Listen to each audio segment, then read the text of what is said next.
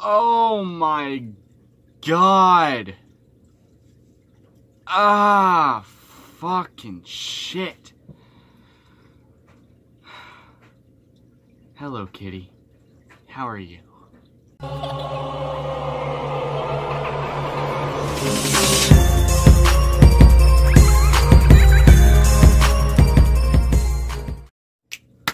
Good day, everybody. My name is William Dragonbear, and I just want to say what a beautiful day it is to be alive. What I mean by that is I have just gone through absolute hell. Uh, not not necessarily hell. The dog stinks. That's why I'm pushing it off the bed. I need to give it a shower. But anyways, what I mean by that is not not necessarily hell. I, I'm glad that I'm working again, and I thought it would be necessary to tell you guys how my first day at this job went by job, by by by first day, I mean first two days, because I was working this morning as well. But anywho, point being, I work. I just got back from working 6 p.m. to 6:15 a.m. I have. I, I fell asleep when I got home, of course, because I've just gone through the entire night working my absolute fucking ass off but it was it was good. I, I learned actually a lot of things from this job, like how to drive a forklift. I, I drive a forklift, and uh, I learned how to clean out a gigantic ass shredder. Do you guys know what a shredder is? Of course you do. If if you don't, you might want to watch Ninja Turtles again. But anyways, uh, the shredder was fucking huge, and it's one of those kinds that pushed the things into the blades and I had to get inside it and clean it out. And this fucking shredder is gigantic. Like, it, it's not, ooh, a little paper cut. No, it's a, you get stuck in there and somebody presses that button while you're inside of it cleaning it, you're dead. You are done. Uh, but I got there and the guy was just like, okay, do you know how to drive a forklift? I was just like, no, I don't know how to drive a forklift. I don't even have my license yet. And he he was just like, well, hop on a forklift. What? I'm just sitting there like, huh? Yep, you're learning how to drive a forklift today. I want you to do a few laps around here to get used to it. And forklifts, it feels like you're fucking drifting when you're turning. When you turn, it feels like you're absolutely drifting. And I was having so much fun with it until he decides to go, alright, pick up these crates, put them in a neat stack right over there. There are a whole lot of levers on a forklift. Well, actually, there's three of them.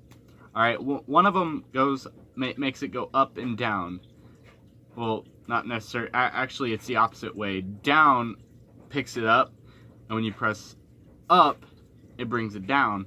And then the second lever uh, is the the middle lever is basically side to side. Like uh, you press it down, it goes right. You press it up, it goes left. And the last lever is to basically tip it or make it go up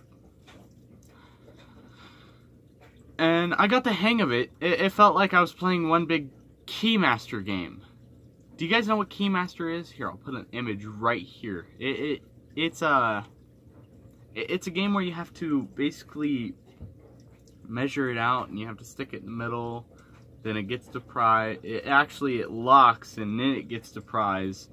Uh, this is basically one keymaster, one gigantic keymaster game to where if you fuck up, it's coming out of your check. So, I, I got the hang of it, actually. Uh, it, it doesn't necessarily take out of your check, it just means they have to buy more and we have to wait a little while. Um,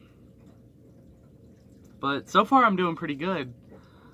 I, I think they were actually impressed of how quickly I learned uh, how to control the forklift. And then they stuck me on uh, this... after the whole freaking forklift, incident, they, they stuck me on uh, this wood flour machine. If you guys know what wood flour is, it's basically wood chips that are grained it up, like ground it up, and they go through an entire drying process. And I gotta tell you, there for a little while, I did not know what the fuck I was doing.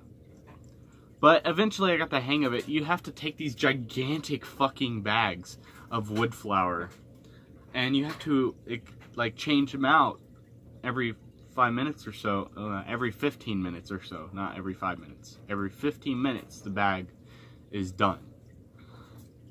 But uh, it, it, usually does it on its own. Like it, it, the the machine comes in like this. The bag goes in the middle, and when you start it up, it goes like fucking. It's like a gigantic butterfly aspect, and normally it would run on its own, but the thing, that the piece of shit broke down, so we have to do it manually, which means I have to grab like a little paper clip or something, get underneath it, and press a little button every five seconds. I have to press that button to where it can uh, do the butterfly thing. Otherwise, it doesn't do the butterfly thing, and we get no wood flour in the machine. And I have to do that every five seconds. A after it's done and everything, and it's taken a little break, it takes about 45 minutes to uh, settle down and everything. And then the light comes back on and I have to do it all over again. And then there's this gigantic shredding. I, I told you guys about the shredding machine, right? Yeah.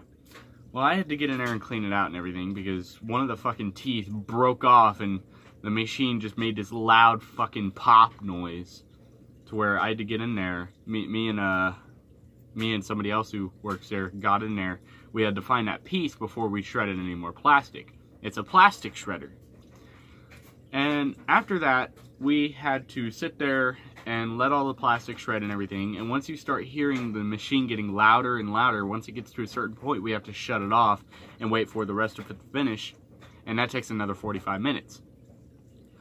Well, after that, we went to a fucking hellstorm with uh, this rubber machine. Not actually rubber machine, like condoms and everything. No, no, no, no, nothing like that. Stop it. But, hold on. But, hold on.